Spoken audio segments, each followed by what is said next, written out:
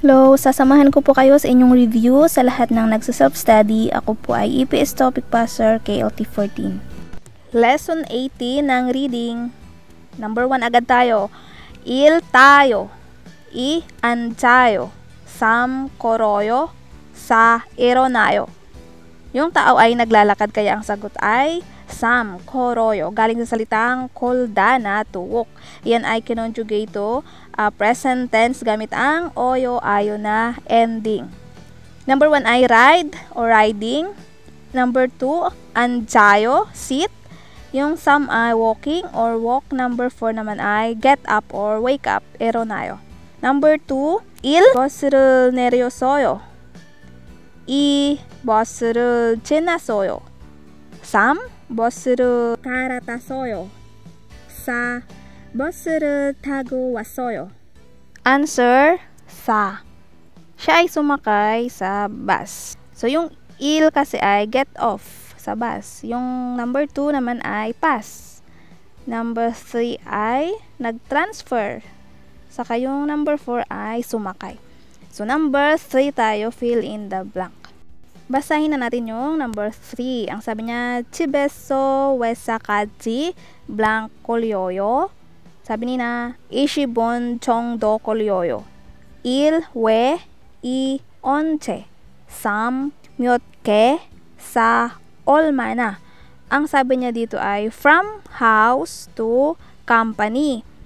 Tapos blank. Ang kolyoyo ay galing sa salitang kolida na take time.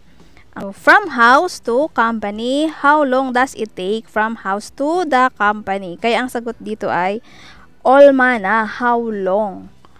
Kasi itong eso kaji, ginagamit dito to express an idea from one place to another. So, from house, chibeso, to company, wesa kaji. Olmana kolyoyo. How long does it take?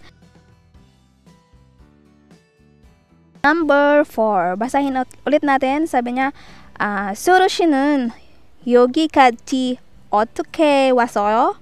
사비 나만 ni Nay, 저는 회사가 가까워서 blank. Yung il, an was어요.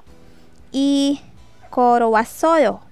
3. 비행기를 탔어요. 4. 버스가 배를 거예요. Ang sabi niya kasi ay, Miss Suro or Mr. Suro. Sino ba ito si Suro? Lalaki ba ito babae? So, ang she kasi yan po ay address niya ng Mr. or Miss or Mrs. Kaya sabi niya, how did you came here? Paano ka ba nakapunta dito? Kasi ang wasoyo ay past tense. Ako, wesaga, kakawoso. Kakapda, galing yung kakawoso. Na near. Ako ay malapit lang sa company. Kaya ang possible na Kasunod niya ay siya ay naglakad. Kasi yung number one naman, sabi niya ay not come, not came. An wasoyo. Yung an ay not, not came. Yung number three naman ay bihengkirul tasoyo. So, sumakay, siya, sumakay daw siya ng plane. Saka yung number 4 naman ay, bus is going quickly. Kaya ang sagot natin ay, koro wasoyo. I've walked. So, I came dahil ako ay naglakad. Last number, uh, 저는 회사에 버스를 타고 가요. 버스는 보통 30분 정도 걸려요. 하지만 철퇴근 시간에는 차가 막혀서 blank. Ano daw ang sabi niya? Ako daw ay, uh, ako pumupunta ako sa company sa pamamagitan ng bus. I go to the company by riding a bus. Tapos sabi niya, ah, uh, Bostonan, Potong, Samshibun, Chongdo, Koryoyo. Ang, ang bus daw ay usually ito ay uh, umaabot ng 30 minutes. So kapag ikaw ay nakasakay ng bus, 30 minutes ang iyong itatagal ng biyahe. Pero sabi niya, Hachiman. Sabi niya, Chochigan, Shigani. Kapag rush hour naman, tapos, ang kasunod dyan ay yung Chaga Makyoso.